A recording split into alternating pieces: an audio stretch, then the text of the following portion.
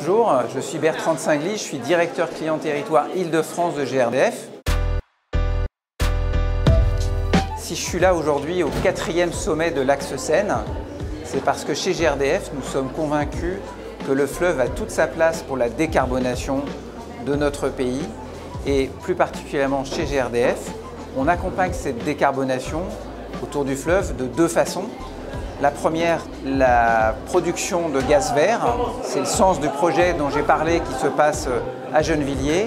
Et le deuxième sujet, c'est d'accompagner le report modal vers le fleuve et permettre aux bateaux qui empruntent le fleuve d'être de plus en plus propres et notamment avec des solutions de rétrofit vers de l'hybride gaz-électricité.